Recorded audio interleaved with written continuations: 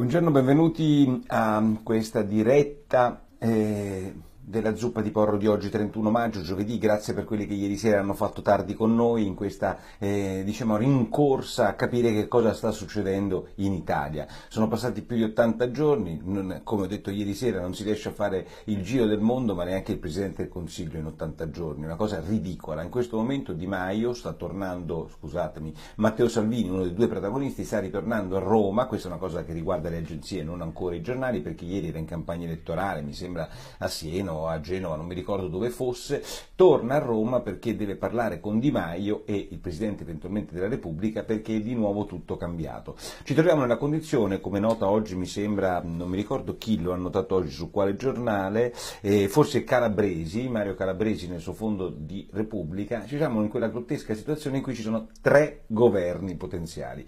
Quello di Gentiloni, che di fatto è ancora il governo italiano perché non è stato mai sostituito da un altro governo, quindi funziona così, che finché non viene sostituito quel governo ancora c'è. Il governo Conte, perché oggi sembra ritornare prepotentemente l'ipotesi che si possa fare un governo di leghisti e del Movimento 5 Stelle con l'aggiunta della Meloni che nel frattempo io non ho ben capito per quale motivo ha dato il suo via libera al governo che fino a ieri non voleva.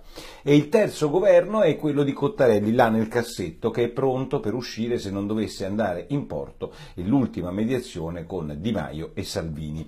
Insomma, questa è la situazione grottesca in cui ci troviamo. Tre governi, dice giustamente e, calabresi che, sono, che danno il senso però, cosa che Calabresi non dice, forse anche di qualche imbarazzo da parte del Quirinale. Eh, insomma, il comportamento del Quirinale eh, possiamo dire che è difficile, come spesso lo è durante la soluzione di una crisi e dopo una situazione come l'attuale in cui la testa si ha una testa maggioritaria ma si ha una legge proporzionale. Qua Travaglio dice la pessima, criminogena legge. Non so se fosse migliore quella proporzionale che tanto amavano e firmarono i suoi eh, lettori 5 5 stellati, ecco, non so se fosse tanto meglio rispetto a quella tale, sono tutte e due leggi proporzionali, ma avendo noi la logica maggioritaria per cui ci deve essere un vincitore, e questo è dire, lo scenario della, di, di, insomma, della, modernità, ecco, la proporzionale che va proposta al Movimento 5 Stelle certo non ti dà un vincitore, ma ti dà una situazione anche forse meno chiara di quella che c'è oggi. Detto questo, detto questo ehm, e ci sono altri elementi, quindi oltre, al, oltre a questo, c'è il,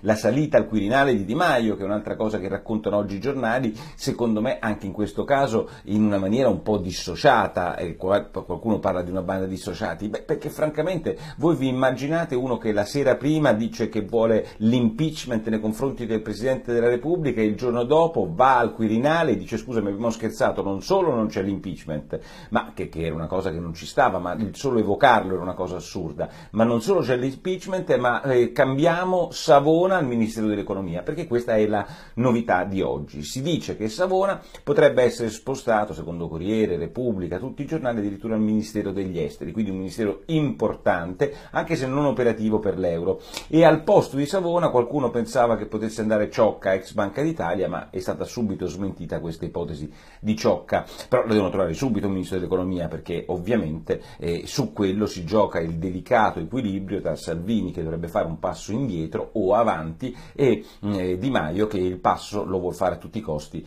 per diventare ministro di un governo giallo-verde. C'è un'altra eh, considerazione da fare, la fa mi sembra verde, eh, Tommaso Labate oggi sul Corriere della Sera e dice attenzione perché ieri per la prima volta eh, il capitano, come viene chiamato da Luca Morisi che è il genio che sta dietro alla eh, costruzione vera, reale ma mediatica politica eh, internet di eh, Salvini che mh, per la prima volta ieri durante una diretta Facebook del capitano cioè di Matteo Salvini, ci sono state molte critiche sul fatto che lui fosse lì a fare campagna elettorale, cosa che a lui piace molto, e che non volesse chiudere questo governo. Come dire, il popolo leghista vorrebbe che si governasse, che non ci fosse questa impuntatura su Savona. Non so se sia vero, e lo stesso Labate dice non può essere certamente un campione, voglio dire, rappresentativo quello di internet, ma siccome i social media hanno avuto un grande peso nella vita di, eh, e nel successo di Salvini, insomma, bisogna forse tenerla in considerazione. Quindi fai un passo indietro, dicono questi signori, fai sto cavolo di governo, Salvini ehm, rinuncia pure alla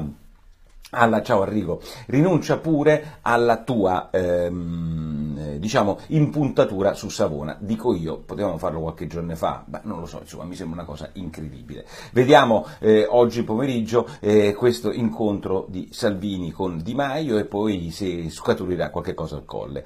Molto interessante, ehm, eh, decide Salvini, vabbè, il titolo del giornale, ma questo ormai lo è chiaro per tutti, mi sembra che siano tutti lì ad aspettare Salvini, compreso di Maio e un'altra interpretazione molto interessante è quella che dà il fatto, secondo me, sul fatto che Di Maio sarebbe stato moderato da quel criminale, per me è un criminale, di Grillo, un deficiente. Grillo è un genio deficiente. Le due cose è un ossimoro, ma vanno insieme, perché quello che si è inventato il vaffanculo dei è quello io a cui non farei gestire non soltanto un'auto, visto come le ha gestite nella sua vita uccidendo alcune persone, ma non gli farei gestire neanche il mio condominio, va bene, a Grillo. Molto meglio gli uomini di Grillo Grillo molto meglio, lo dico qua eh, che così vi è a tutti chiaro, tutto il resto che c'è, Grillo era quello che distruggeva il computer e poi ha deciso perché facevano schifo, poi ha deciso che eh, Casaleggio era il suo guru, insomma quello è Grillo, il disastro della, ehm, del pensiero, della coerenza, l'uomo che veniva pagato in nero e che ci rompe oggi le balle sull'Italia criminale, insomma quella roba lì io non ci voglio pensare, ma l'idea che lui, Grillo, sia quello che ha moderato oggi Di Maio come sostiene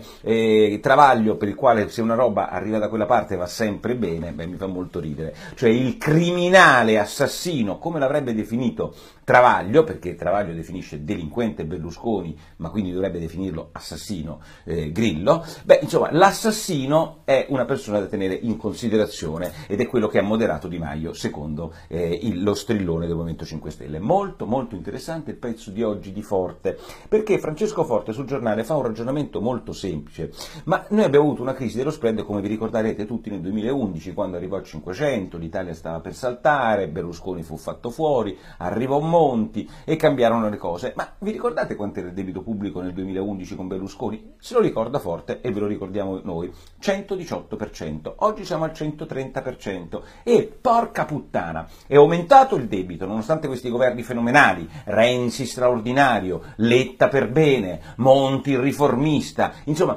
il debito debito è aumentato e soprattutto nessuno ci ha tolto dalla fragilità dello spread. Siamo esattamente ancora in balia dei mercati finanziari per la nostra debolezza intrinseca. Allora, questi governi che sanno tanto i susseguiosi, Asta, Salvo, Savini, Salvini, Savona, eccetera, ma che in questi cinque anni ci hanno forse messo al riparo da qualcosa? Questo è poco ma sicuro. No, ci troviamo esattamente nella stessa identica di, eh, condizione, cioè quella di un debito che è aumentato e di uno spread che la fa da ehm, Regina. Ultima cosa della giornata è sul messaggero di oggi, a parte la patetico incontro sul mattino di De Magistris col Quirinale, cioè il Quirinale proprio De Magistris che piagnucola e va da lui e dice ho tanti debiti, ho tanti debiti, fatti da lui chiaramente, non delle precedenti amministrazioni, fatte da lui, ma comunque ehm, la cosa più bella è la vicenda di Torino. Prima pagina del messaggero, la Guardia di Finanza multa 516 euro un gelataio di Torino perché entra un cliente eh, prende due coppette di gelato, a una gli mette la panna che costa 50 centesimi, lui gliela regala, cioè non incassa i 50 centesimi,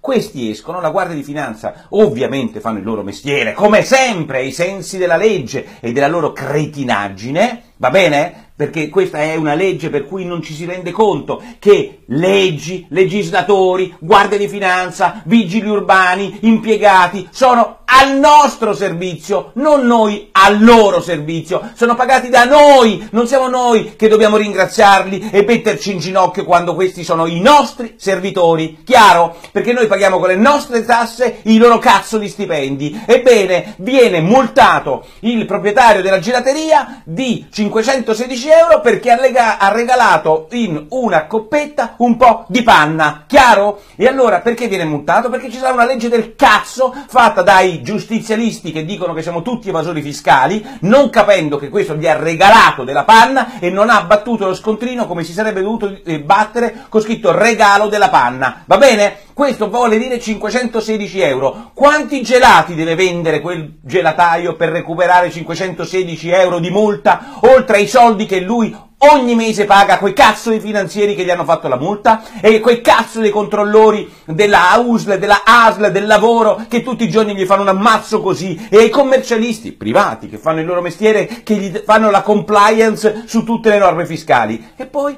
intervistiamo e poi si intervista il, il, il, gelataio di Roma, no? Fassi, la grande gelateria. E sapete che dice il gelataio di Roma? Questo a Roma non potrebbe succedere. E perché non potrebbe succedere? Non potrebbe succedere perché a Roma eh, noi nella nostra gelateria la regaliamo sempre la panna. Ma non hai capito, caro gelataio di Roma, qual è il senso?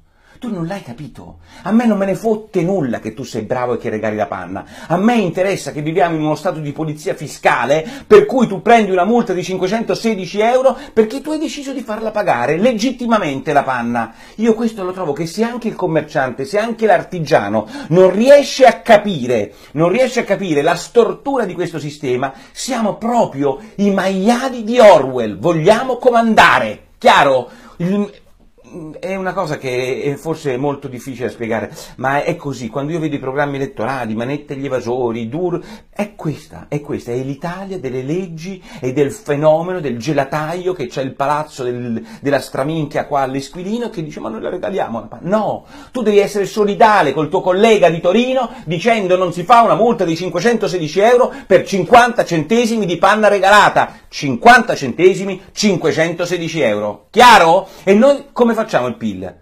Come, facciamo, come paghiamo gli stipendi alla finanza? Ai magistrati, ai poliziotti, ai carabinieri, ai nostri servitori. Se noi continuiamo a pensare che siamo tutti dei delinquenti, ci sentiamo questa sera. Ciao.